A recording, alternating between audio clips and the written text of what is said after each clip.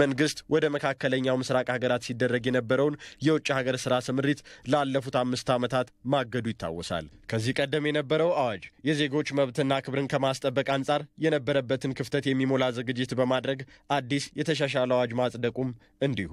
በዚህ ጉዳይ ላይ ከኢቲቪ ጋር ቆይታ ያደረጉት የኢትዮጵያ የውጭ ስራ ስምሪት አገልግሎት ሰጪ ኤጀንሲዎች አሰሪ ማህበር ፕሬዚደንት የሆኑት አቶ መዝገቡ አሰፋ የስራ ስምሪቱ ተግባራዊ ከመደረጉ በፊት በኤጀንሲዎች በኩል ያሉ ስጋቶችን ያነሳሉ። በተለይ የስልጠና ምልመላን በተመለከተ ተቀባይ ሀገር ላይ የሚፈለገው የሰለጠነ ኃይል ምን አይነት ነው፣ በምን ስራ ላይ ነው ስልጠና የሚለውንና ያንን በማከለ መንገድ እየተካሄደ ስለመሆኑ አንዳንድ ጥርጣሬዎች ስላለን ነው። የማህበሩ ምክትል የቦርድ ሰብሳቢ የሆኑት አቶ ሰይድ አህመድ የውጭ ሀገር የስራ ስምሪቱ ተግባራዊ ሲደረግ የባለድርሻ ተቋማት ቅንጅታዊ አሰራር ካልጠነከረ ለህገ ወጥ ስደቱ ይበልጥ በር ከፋች ነው ይላሉ።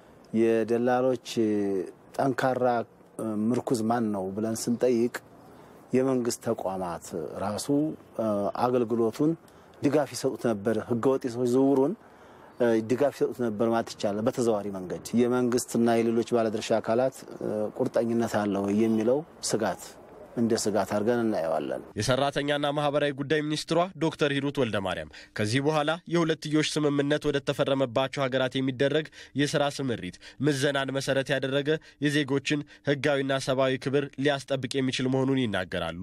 ለዚህም ዝግጅት መደረጉን በመጠቆም አሁን ስራው የምንጀምረው በሶስት ሀገሮች ነው። ሳውዲ አረቢያ፣ ካታርና ጆርዳን። የሰለጠነ የሰው ኃይል ነው መላክ ያለበት በሙያም በአጠቃላይ ግንዛቤና ክህሎትም እንግዲህ ያን ለማድረግ አገር ውስጥ በቂ አቅም አለ። እንደ COC አሁን አይነት ተፈትነው ማረጋገጫ የሚያመጡበትንም ስርዓት ታስቧል። በተለይ በሶስት ሙያዎች እና ስልጠናውም በጥሩ ሁኔታ እየተካሄደ ነው ነው የመረጃ ስርዓት በቴክኖሎጂ የተደገፈ profile ኧዋን በደንብ የሚያስቀምጥ የመረጃ ስርዓት ተጠናቋል ማለት ነው። follow up ለማድረግ ማን የት ነው ያለው የሚለውን አሁን ጥርት ያለ መረጃ ይኖረናል። ከዚህ በተጨማሪም ለስራ የሚሰማሩ ዜጎችን ዋስትና ለመስጠት የሚያስችል አሰራር መዘርጋቱንም ዶክተር ሂሩት ይገልጻሉ። ጠንካራ ታማኒነት ያላቸው አቅም ያላቸው